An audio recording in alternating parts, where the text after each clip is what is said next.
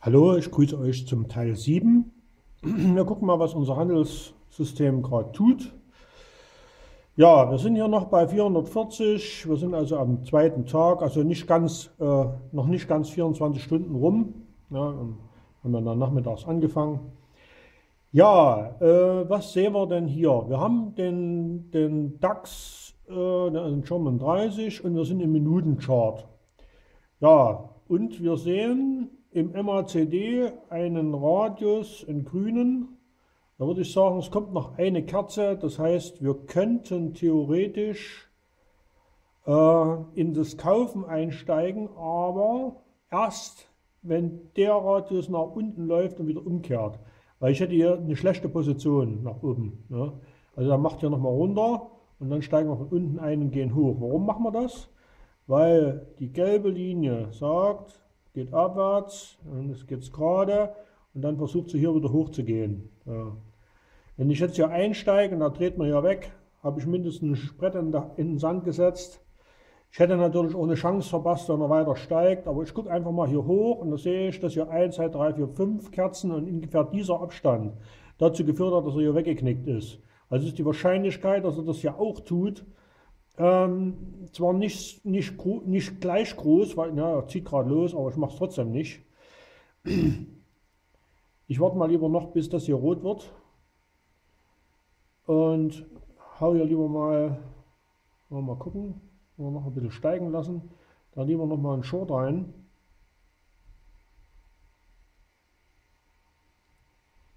Ja, eine schwierige Entscheidung. Ja. Also man könnte jetzt auch spekulieren, dass jetzt hier ist ein besonders, nö, Viertel eins ist jetzt eigentlich kein Grund, warum da hier so loszieht. Wir gucken mal, ob in irgendeinem Währungspaar was los ist. Ach hier, hier. Machen wir noch irgendwelche komischen Sachen. Hier ist alles ruhig. Ja, hier so eine, so eine hohe Kerze hier. Das kann schon so die Ursache sein, dass er also hier anfängt, US-Dollar zu steigen. Mal, das sieht doch ganz gut aus. Wir tun mal verkaufen. Mal sehen, was hier passiert. Also, mh, hm, mal zwei Kont machen wir vier Kontakt, vier Kontrakte, acht Kontakte in Minus. Und zwar mit der Spekulation, dass das hier ein Radius ist. Die zwei Balkendiagramme sind fast gleiche Höhe. Der nächste ist ein roter. Wenn das ein roter wird, werden die alle auch rot und dann landen wir ungefähr hier an der Stelle. Wir können uns eigentlich gleich das Setup eintragen. Ja, gehen im DAX, im DAX immer etwas höher mit dem, mit dem Stop-Loss, weil hier einfach sehr, viel Bewegung ist. Also 800, 800 ist hier ein guter Wert. Und dann ziehen wir dann, na, das war glaube ich viel. Wir können da nicht so, nicht so in die Vollen gehen. Ne? Das, das funktioniert nicht hier. So, wo haben wir jetzt? Wir sind jetzt oben ist der Stop-Loss. Na gut, da ist er wirklich ein bisschen weit weg. Ziehe ich mal noch ein bisschen ran. Und Take Profit ja, da brauche ich vielleicht nicht mehr. Gut. Ja, wie ermittelt man jetzt die Linie vom Take Profit? Da gucke ich mir die ganzen Tiefs an. Ne? Ich bin ja am Verkaufen. Ähm, naja, es ist eine rote gekommen, wie ich vermutet hatte. Der Williams will in den verkauften Bereich, aber wir müssen sehen, dass er hier in der Mitte war. Ne? Und hier in den Kaufenbereich liegt. Also es ist durchaus möglich, dass er hier noch ein kleines bisschen drüber steigt, aber die Tendenz ist so, dass er hier also rumkommt. Liegt auch ein bisschen daran, dass wir hier doch ein bisschen leichten Abwärtstrend haben, eine Gegenkorrektur, also wird es dann hier wieder bergab gehen. Ist eine Vermutung, das kann man nicht wissen, aber wir haben ja schon die zweite rote Kerze, das heißt also, die Aufwärtsbewegung ist hier ein bisschen gebrochen. Was hier passieren kann, ist, dass sich hier zwei Radien ausbilden, also bis hierher und dann hier wieder steigend. Wäre natürlich nicht so gut. Das würde dann bedeuten, dass er hier waagerecht geht und dann wieder steigt. Wenn das passiert, müssten wir hier das abbrechen. Hätten wir also hier 40 Euro Verlust. Gut, aber wir wollen den Teufel an der Wand malen. Wir gucken erstmal, dass er, was er tut. Ob er jetzt hier über die blaue drüber steigt, er zappelt rum hier, aber so eine rote Kerze ist schon mal ein guter Anfang. Hm? Und die Tochter sind kurz, also das sieht gut aus. Wenn man hier sich die Stelle anguckt, sind ja die Tochter relativ lang, mit einmal bricht das nach unten weg. Aber es ist eine, ich sag mal, keine riesengroße und ein recht komfortabler Abwärtstrend. Wenn man hier nicht aussteigt an der Stelle, sieht es ganz gut aus. So, wo haben wir jetzt hier Widerstände hm, oder Unterstützung? Mal gucken. Also, mh, mh, er wollte noch, er wollte runter und fällt nicht. Das ist hier die Stelle. Können wir hier mal eine Linie einzeichnen, horizontale Linie, die schätzen wir hierher. Das ist unsere erste Markierung. So, und nach oben. So. Er ist hier raus. Hat hier versucht hochzugehen, ging nicht. Ja, wir sind eigentlich schon oben. Ne? Das ist auch ein Widerstand. Also wenn da hier, wenn er gefallen ist und dann blaue Kerzen sich ausbilden und dann doch nicht steigt und wieder fällt, ist also hier eine Widerstandslinie. Können wir auch noch einzeichnen. Ja, die setzen wir ja hoch. So, also hier dazwischen passiert was. Und kann ich also es riskieren, meinen Stab hier noch etwas runterzuziehen. So, und da haben wir natürlich hier wieder optimal erwischt, dass er jetzt wirklich hier bricht. Und es sind hier 100 Euro drin. Ja, da haben wir jetzt schon ein Viertel des Tagessolls haben wir jetzt eigentlich schon verdient. Bei 10,66 müssten wir also rauskommen heute. Dann hätten wir unsere 3%, reichlichen 3% wieder erreicht. Ähm, was man jetzt versuchen könnte, ist aber sehr riskant, hier nochmal nachzulegen, weil diese Kerze, die haben natürlich auch Leute gesehen, die im 5-Minuten-Chart unterwegs sind, weil die doch relativ groß ist. Sie zieht nochmal zurück und wir sehen, was passiert. So, äh, was man hier sieht, hier, hier an der Stelle, ne? wenn die blaue Linie hier schon wieder umdreht und leicht nach unten geht, kann man also wenn, den Punkt erahnen, wo die sich treffen, das ist ungefähr hier. Und wenn der hier hineinsticht, also die blaue in die gelbe reinsticht, dann besteht die Chance, dass er hier nach unten weggeht. Wenn die sich nicht treffen, also wenn die alle beide parallel laufen, ist die Chance groß, dass er hier nach oben geht. Deswegen hängt es sehr davon ab, was die blaue Linie tut. Hier, das gefällt mir gar nicht, hier dieser, dieser blaue. Aber ich ähm, es mal darauf, dass die Leute, die im Aufwärtstrend waren, verkauft haben. Ja? ja? die haben gesagt, das wird nichts mehr, das ist mir hier zu heiß, hier kommt eine Widerstandslinie, ich tue mal hier schließen. So, wenn die jetzt verkaufen, würde das bedeuten, dass der Kurs sinkt. Das ist auch das, was wir gesehen haben. Und dann sind die Leute natürlich short gegangen. Und wenn da sich aber hier nicht beeilt, runter zu gehen, na, dann steigen hier wieder aus. Dann haben wir eine ganz kleine Korrektur. So, ist ein bisschen eine schwierige Sache, was das nun passieren könnte. So, während er sich hier noch eindreht, ich denke mal hier alles, was plus minus 40 Euro ist, äh, das können wir hier in dem Lehrgang einfach mal unter Spaß gehabt verbuchen. Hier sieht es nach Radius aus, guckt mal hier genau hin, hier ist ein Radius drin. Also die Wahrscheinlichkeit, dass er hier hochsteigt, ist groß. Wir sollten also die Position hier mal zumachen bei einer günstigen Gelegenheit. Also im kleinen Gewinn. Es sei denn, er bildet, na ja, genau. Äh, das ist mir hier zu heiß. Weil die Gefahr besteht, dass er hier wieder eine grüne ausliefert. Ja, hier an der Stelle. Ich würde fast sagen, die kommt jetzt als nächste. Wenn der hier hochläuft, haben wir hier eine grüne. Wenn wir eine grüne haben, geht es hoch. Da wird man aber dann kaufen. So, das ist genau die Situation, vor, vor, dem man, vor der man sich in Acht nehmen muss. Die gelbe Linie macht hier langsam einen Radius und die blaue bleibt gerade. Na, jetzt haben wir natürlich jetzt den Pech hier, da geht es wieder bergab. Hm, na, schon schwierig. Es ist schwierig zu entscheiden, was hier passiert. Ob das jetzt nur, es sieht zerrissen aus, sieht so aus wie hier. Hm. Er hat die gelbe Linie, hat einen Widerstand, also hier auch einen geringen Widerstand. Er könnte also hier noch ein bisschen zurücksetzen. Man könnte an einem Hoch nochmal einsteigen und nochmal ins Verkaufen gehen. Ja, wir sind noch 100 und ja, 140 äh, bis zur 500, also müssen wir noch ungefähr 200 schaffen. Mal sehen, ob wir hier eine andere Möglichkeit finden. Hier ist nichts zu holen, hier ist auch nichts zu holen. Was haben wir denn hier? Hm. Wir liegen in der Mitte drin, also Käufer und Verkäufer ausgewogen und die Linie geht gerade. Ja, das ist nichts hier. So, was ist hier? Hier haben wir eine kleine Wende nach oben, da wird also hier noch wegdrehen, weil man sieht, dass die gelbe Linie sich hier ergänzt, hier hoch. Ja, geht nur runter, gut. Hm. Aber wir sind auch schon ziemlich weit unten. Hier ist es hoch, hier unten sind die Tiefs, also hier unten noch in Verkauf gehen, das lohnt nicht. Dann lieber warten, bis er gedreht hat und kaufen. Na, weil wir hier dann von unten bis hoch gute Chance-Risikoverhältnis haben. Was sagt uns dieser hier? Hier ist nichts los.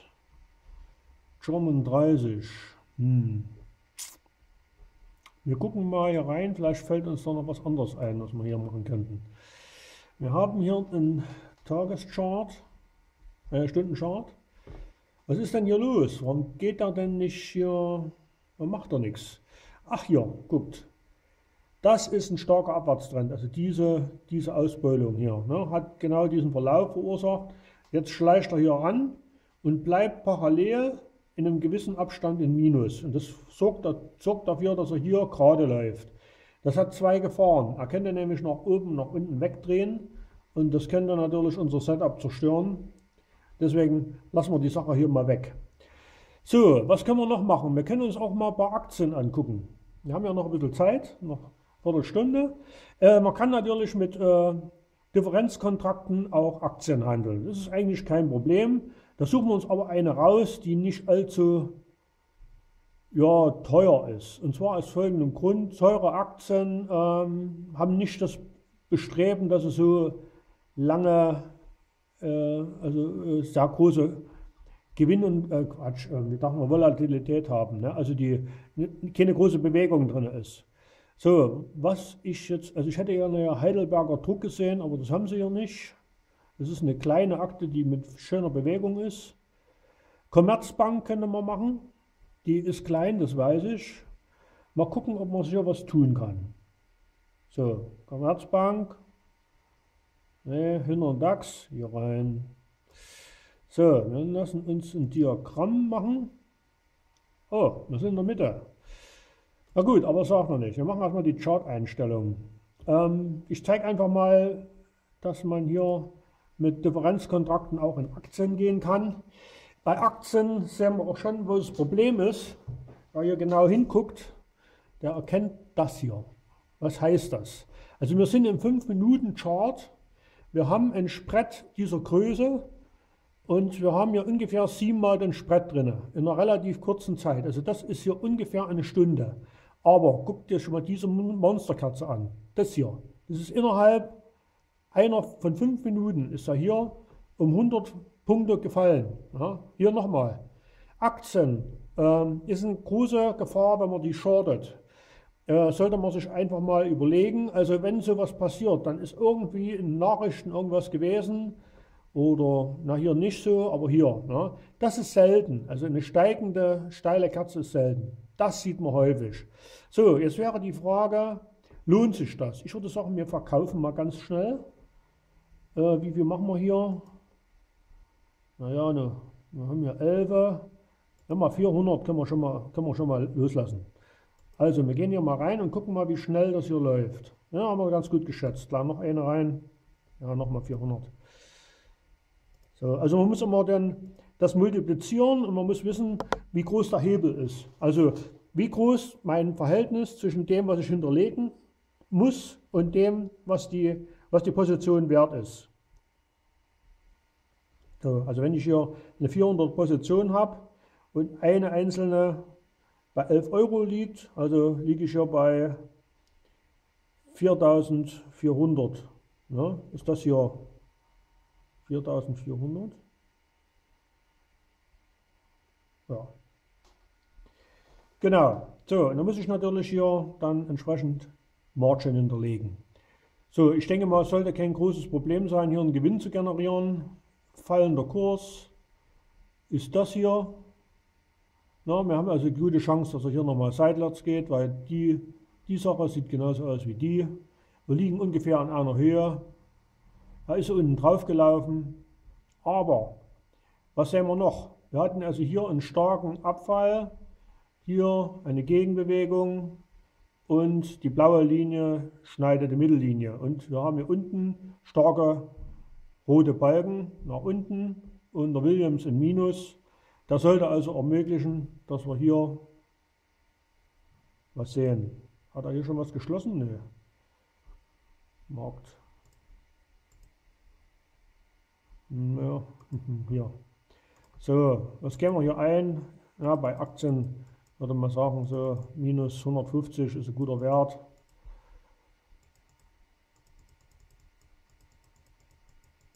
Das muss man dann immer einschätzen. Ne? Die Positionsgröße, wie gesagt, rechnen wir sich vorneweg aus. Und zwar immer so, dass man hier irgendwo zwischen 1 und 10 Prozent liegt. 10 Prozent, wenn man sich relativ sicher ist, dass es bergab geht oder bergauf. Und wenn man ähm, hier so in der Mitte rumkrebst, wo man nicht weiß, was passiert, dann eben lieber nur 1 Prozent riskieren. Ja? So. Wir sind also hier noch nicht richtig komfortabel unterwegs. Er ist jetzt auch noch ein bisschen nach oben gegangen.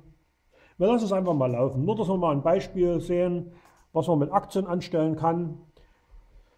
Äh, wir zeigen mal nochmal den Stundenchart, damit wir mal gucken, wo wir liegen. Naja, wir liegen hier eigentlich am Ende. Man hätte vielleicht das lieber nicht tun sollen, weil es bestimmt die Gefahr besteht, dass er die nächste Zeit dreht. Hier unten haben wir ein Minimum. Oh, das ist auch gar nicht gut hier. Das sieht so aus, als ob er steigt. Also hier können wir sehr komfortabel einsteigen zum Kaufen. Das sehe ich jetzt gerade hier. Also das könnte in der nächsten Stunde könnte die Commerzbank Aktie ordentlich nach oben ziehen. Das veranlasst mich dazu, hier im knappen Gewinn zu schließen, wenn das irgendwie geht. Ähm, man hätte eben hier wirklich mal gucken sollen, nochmal zurück.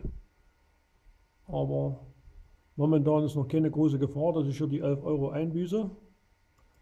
Aber ich bin gewarnt, also immer etwas hochschalten, so Stunde, und da sieht man hier, dass wir nochmal eine Chance haben, hier rauszusteigen. Aber der Gewinn hier unten, das sieht eher nicht so danach aus, weil das Chance-Risiko-Verhältnis hm, sieht nicht günstig. Ne? Wir müssten eigentlich hier im, Kaufen sein. Und da können wir machen. Außerdem bewegt sie sich kaum. Ne? Ist also nicht so richtig prickelnd hier mit der Aktie. Gut, ich lasse aber jetzt nicht alleine. Ich lasse die jetzt mal hier auf 5 Minuten und gucke mir mal an, ob ich hier wieder ohne Schrammen rauskomme, weil es gefällt mir nicht. Wo liege ich denn? Ich habe die Position hier, eine klitzekleine blaue Kerze. Ich habe hier eine Linie, wenn ihr sowas seht. Ich mal es mal ein. Ja. Hier muss auch Achtung geboten, das klettert nach oben. Und wir haben hier noch was. Das hier. Mal hier. Ja, also wenn sie hier solche Wimpel ausbildet, das riecht nach, danach, dass er, wird er eingeklemmt und da besteht die gute Chance, dass er hier ordentlich nach oben zischt. Genau, wenn das nächste Mal hier gewendet hat. Dann treff, treffen die Linie hier, treffen dann hier oben rein und dann wird es wahrscheinlich passieren. Äh, in manchen Fällen passiert es auch, dass das nach unten rausknallt, aber da muss der vorhergehende Verlauf auch negativ sein. Und das ist ja hier nicht der Fall weil wir kommen von oben und haben hier im Prinzip fast einen, einen Boden ausgebildet, also ist eine Stirrzone. Im Prinzip müsste der Verlauf so sein, hier ist eine Stirrzone drin und dann versucht er jetzt hier wieder zu korrigieren. Ja.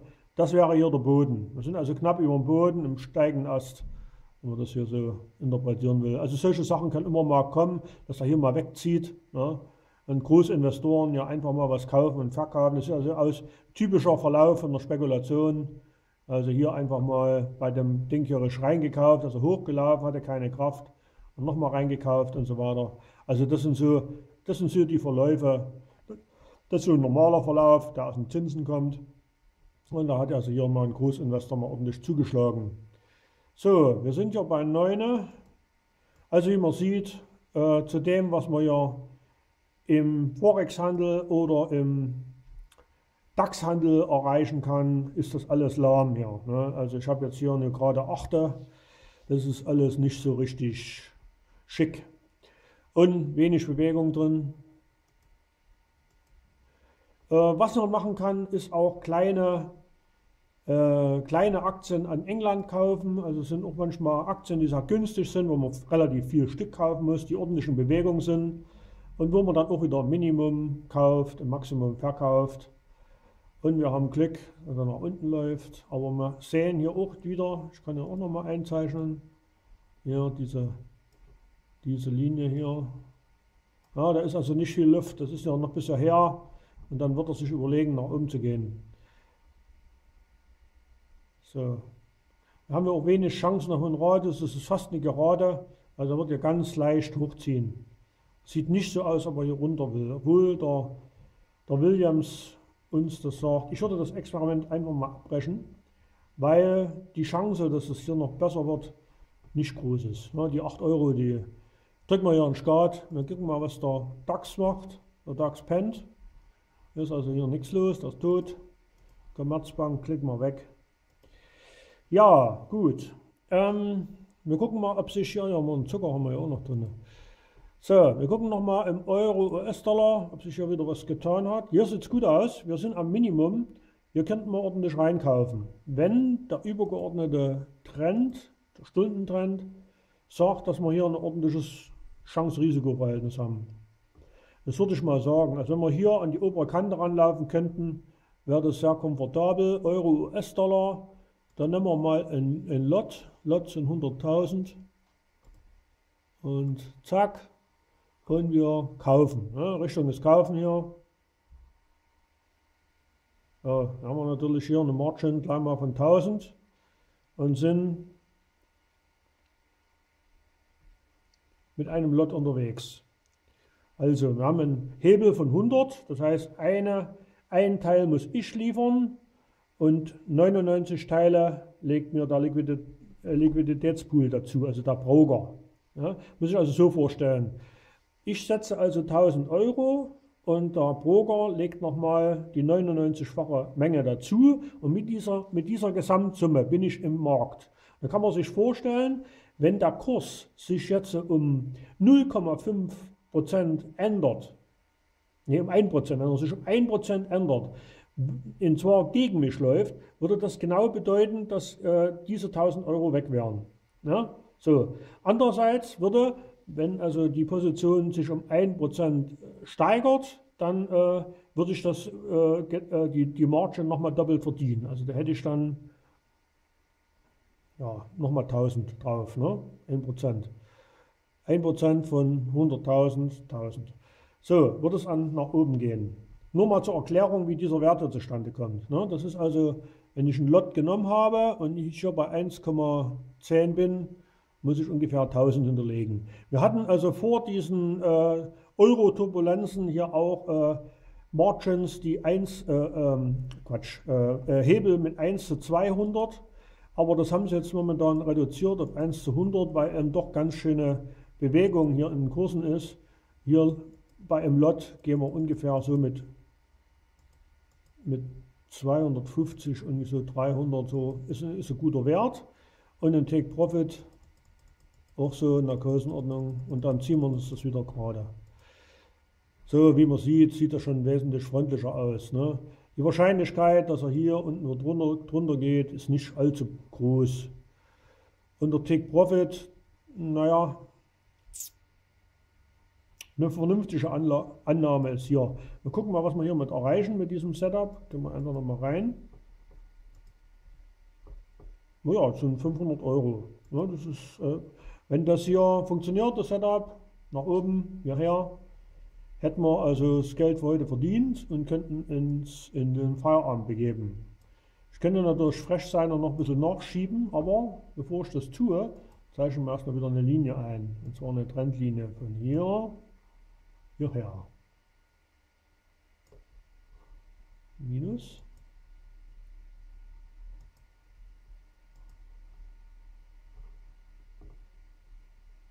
Ah, naja, sieht gut aus. Hier unten, das wird waagerecht werden. Die Grünen nehmen ab. Es geht jetzt gleich noch hoch. Was sagt man hier? Mein, ja, da sind wir weit genug weg.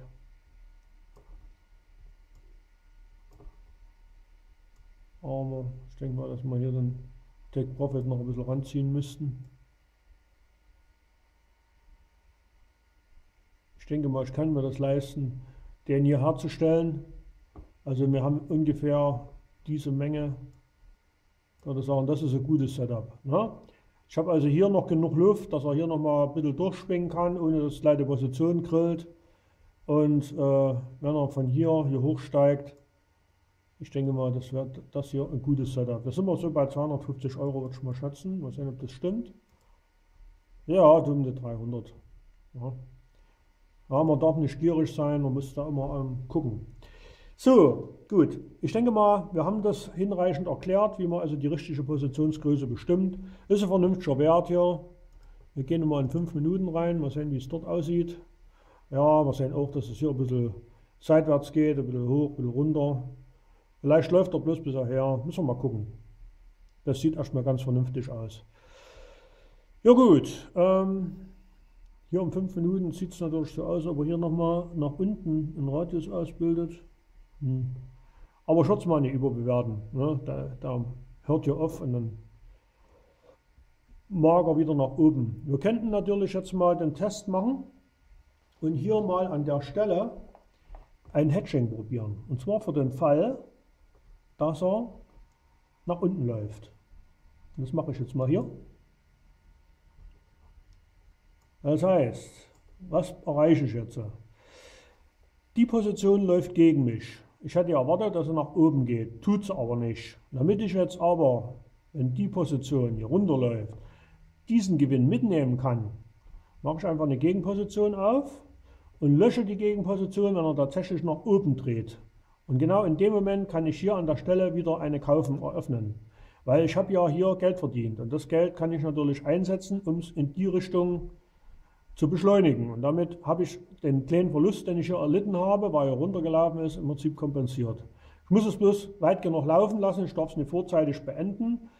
Und ähm, ich muss darauf achten, dass in so, einer, in so einem Falle ähm, ich dann, wenn er dreht, in die richtige Richtung noch eine zusätzliche Position öffne, weil jetzt verdiene ich gerade nicht. Ich habe also die gleiche Positionsgröße in Plus und in Minus. Ich mache jetzt weiter nichts als Risikobegrenzung. So, wenn der mir jetzt äh, hier runterläuft na, und ich hätte das nicht gemacht, dann hätte ich das natürlich hier als Minus auf dem Konto gehabt. Das kann jetzt nicht passieren, weil der wird jetzt in Plus laufen und der wird dem anderen in dem Abstand hinterherlaufen. Na? Also der Verlust ist immer genau dieser Abstand. Und den schiebe ich jetzt hier runter und wenn er unten aufgeschlagen ist, tue ich den löschen und starte von unten eine Kaufenposition, weil er ja wieder zurück will. Und beim Zurücklaufen tut er mir diesen Verlust, den er hier erlitten hat, ausgleichen und wenn er von unten diese Linie nach oben durchsticht, dann lösche ich das. Und das ist auch das, wie ich gestern diesen Germany 30 noch gerettet habe, der in die falsche Richtung losgestartet ist. Genau mit dieser Methode. Und das kann man natürlich spiegelbildlich auch machen, wenn man eine Verkaufenposition hat, dann äh, sichert man sie ab mit einer Gegenposition und man könnte, wenn man das wollte, die Gegenposition noch geringfügig größer machen, müsste aber dann zwei eröffnen, damit man eine dann schließen kann, wenn, er dreht. Ja, sonst funktioniert es nicht. Also man tut immer in der Marktrichtung die Position etwas größer wählen wie Gegenmarkt. So, jetzt ist die Frage, wie lange das hier noch geht. Mein Video ist gleich zu Ende. Äh, wir haben jetzt die Gegenposition gleich im Gewinn. Das könnte man ja noch abwarten, die eine Minute. Ja, wir sehen also hier, ja, wie das Hedging funktioniert. Wir haben also hier dann gleich einen Gewinn hier an dieser Stelle. Das ist unsere Position hier.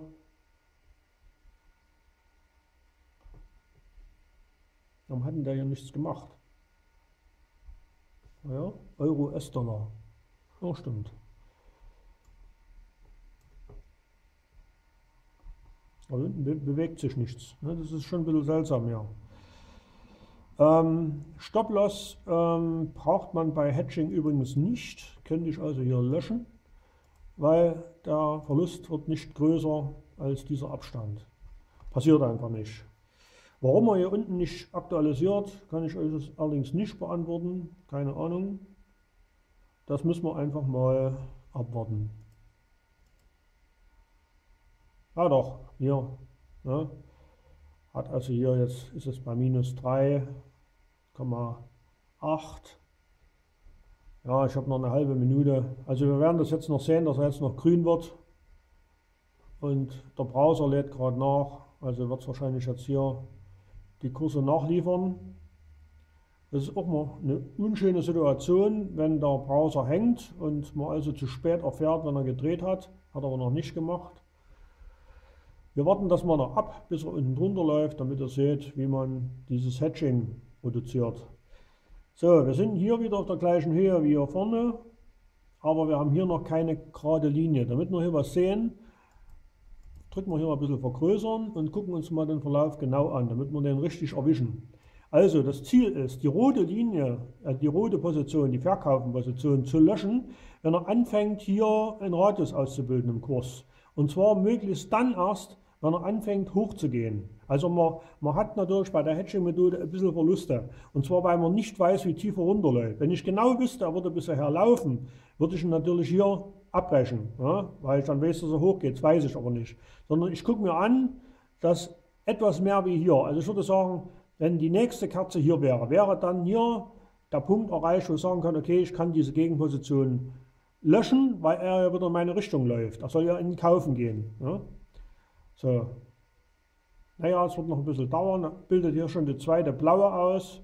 Er ist aber immer noch nicht waagerecht. Müssen wir nochmal vergrößern, damit wir ein bisschen was sehen. Ich möchte ja, dass ihr das wirklich richtig erkennen könnt. Und wann dieser Punkt kommt, so, was ist jetzt hier zu sehen? Die Dochte werden kürzer. Ne? Sind die Dochte kurz, ist, die, ist das Verhalten, dass man sich hier nach unten bewegen will, immer geringer und wir sehen auch, dass er hier anfängt langsam zu wenden. Es ist aber nicht ausgeschlossen, dass noch zwei, drei rote Kerzen noch kommen, aber viel Schwung hat er nicht, sehen wir ja hier. Und warum nicht? Na, weil wir hier schon tiefer sind als, als auf dieser Stelle. Hier haben wir ja eine Unterstützungslinie, Unterstützungslinie, weil hier abgeprallt ist. Und dies haben wir auch hier gesehen. Das korrespondiert mit dem, wenn er unten durchgebrochen ist, ist also zu erwarten, dass er hier an der Stelle naja, jetzt fängt er schon an zu kippeln und zu wackeln. Hm. Ah, es kommt noch eine rote. Ich spreche mal ab, wird das Video jetzt zu lang.